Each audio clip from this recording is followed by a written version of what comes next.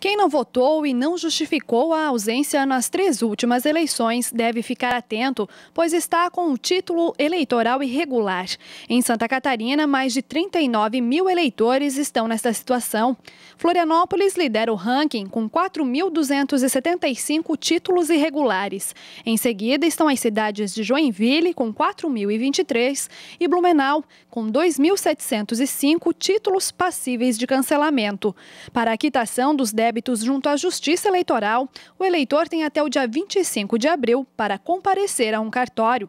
Se ele estiver no exterior ou não puder comparecer pessoalmente, a regularização poderá ser feita por um membro da família. No site do TRE constam as informações, né?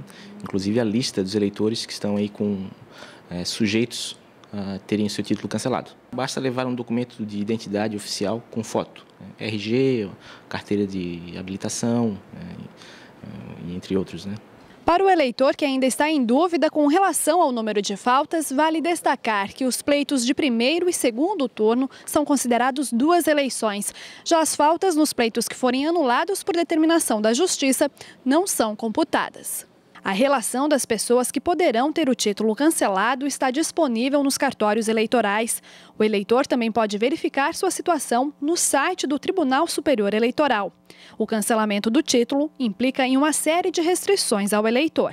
Na verdade, existem implicações desde que o eleitor já falte a uma eleição.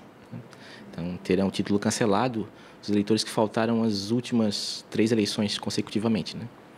Essas restrições são, por exemplo, é, restrição à obtenção de passaporte, carteira de identidade, é, inscrição em instituições de, de ensino controladas pelo poder público, né, entre outras.